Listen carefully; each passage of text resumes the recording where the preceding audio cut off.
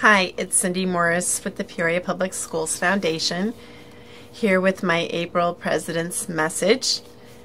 And today I am just here to invite all of our friends and supporters to our 24th annual PPS Foundation golf outing, which will be on Monday, June 21st.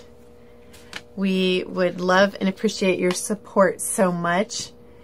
Uh, last year during the pandemic, we did alter our outing and did so with smaller groups and morning and afternoon flight of 50 each. So we're keeping that format this year because it really did work out well. Um, we are able to have more participants. So um, our golf outing committee, Scott McCord is the chair, we have a, a goal of trying to fill all 18 holes. So that would mean uh, 72 golfers uh, for the morning flight and 72 for the afternoon. So on behalf of the Peoria Public Schools Foundation Board and staff and Golf Outing Committee, we would love you to sign up today. Um, share the information with anyone that you know that likes to golf.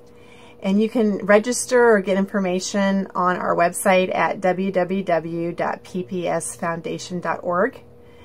This is our next big um, and our main fundraising event. It helps us continue to do the impactful work that we do. So thanks in advance for the consideration and we look forward to potentially seeing you at our golf outing um, this summer. Thanks so much.